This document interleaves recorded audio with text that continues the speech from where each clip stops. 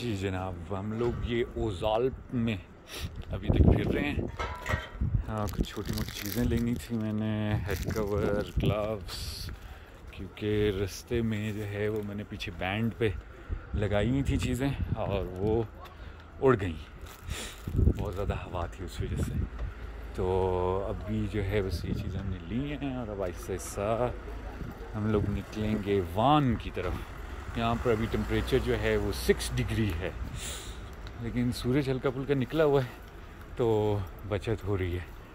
और एक बहुत छोटा सा टाउन है। आ, बिल्कुल जैसे आप बॉर्डर क्रॉस करते हैं इन साइड टर्की तो वहाँ पर तकरीबन फिफ्टी सिक्सटी किलोमीटर्स के बाद ये वो ओजाल्प आ जाता है।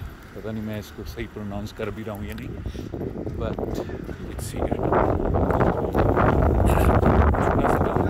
लेकिन मज़े का टाउन है लैंग्वेज प्रॉब्लम होता है। आपको जो है वो ट्रांसलेटर रखना पड़ता है अपने साथ। तब जाके काम चलता है। और छोटे सिटीज़ में जो है वो नॉर्मली यूरोज़ नहीं लेते। यूरो चल जाता है। आप यूरो देंगे तो आपको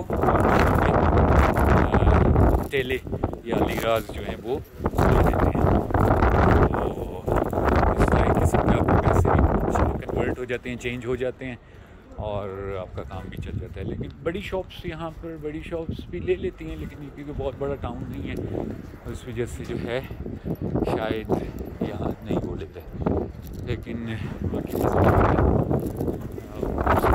बड़े बड़े मौजूद हैं।